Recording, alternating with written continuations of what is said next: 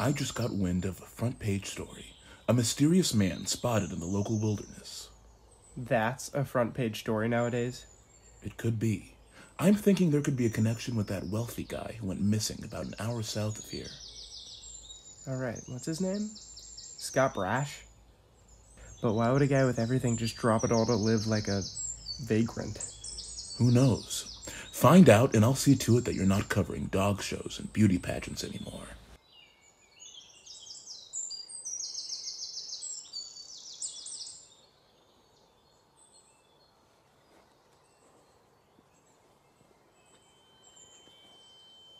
If you go write that story, don't expect me to be here when you come back.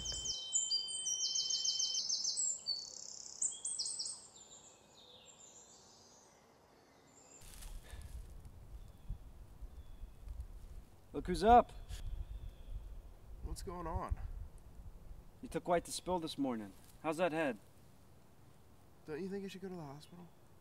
Well, I was thinking you probably should, but I can only carry you about 20 feet before I run out of steam. Then how did we get here? You fell just over there.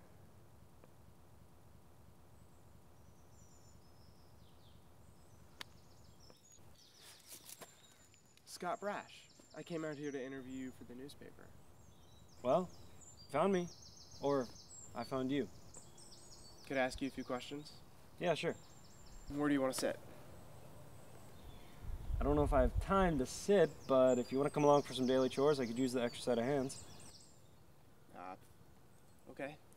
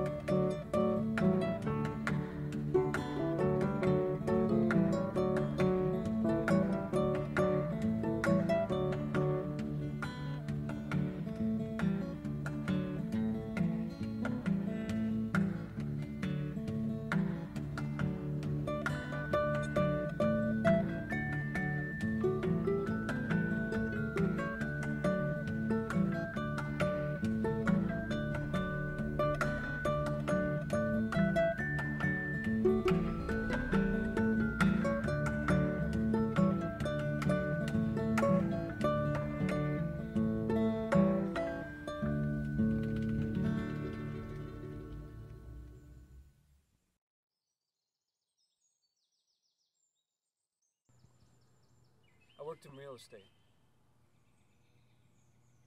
Made a pretty penny doing it too.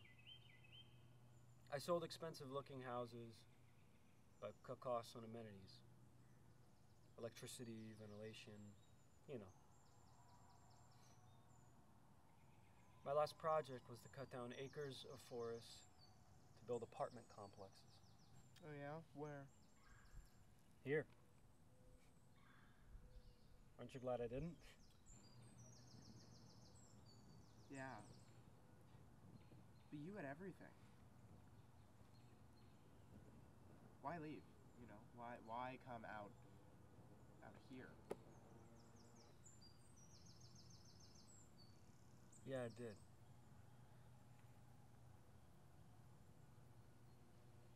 You got a family? Yeah, a wife. Or I did. I I don't know. She said I was taking this job too far and leaving her behind. Uh, uh, what about you? Yeah, I had a wife. And a boy.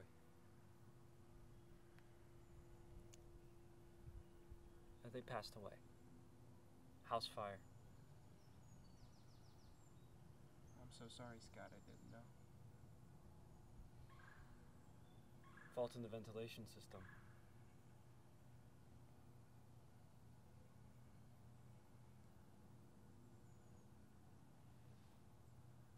Now that everything I want is long gone,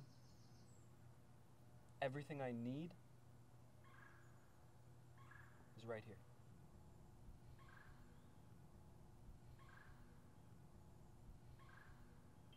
I think I get what you mean now.